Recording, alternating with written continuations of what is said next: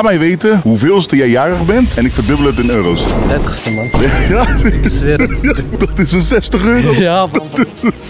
Ik tref gelijk de goede. Ja, 60 euro, man. Ik ben de 11 van de 11 van 1999, dus ik... Nou, alleen de dag, hè? Niet eh, alles bij elkaar optellen, man.